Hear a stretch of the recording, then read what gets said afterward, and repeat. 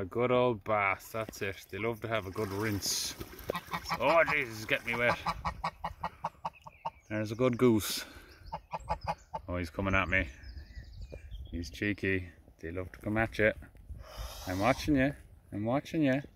Oh, he's got a bit of the alpaca feed there. Sharing's caring.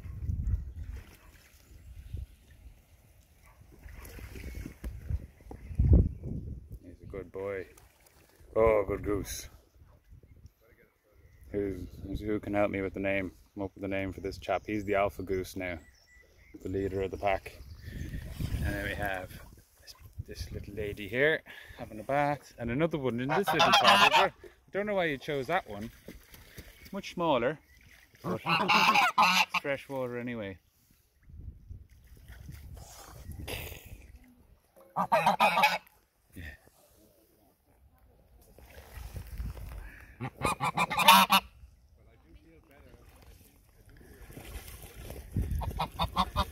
Yeah, good boys. Nibble, nibble.